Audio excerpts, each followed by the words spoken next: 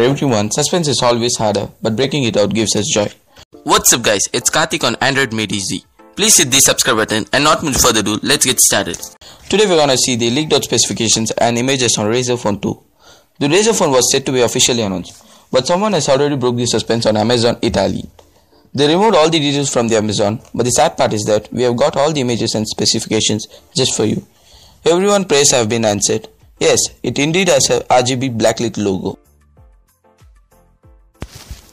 Okay guys, let's move on to the specifications. It has a Snapdragon 845 processor and 8GB RAM. The screen is still a 5.7 inch and has 1440p LCD panel. Though it has a best LCD panel, it only has 64GB of storage.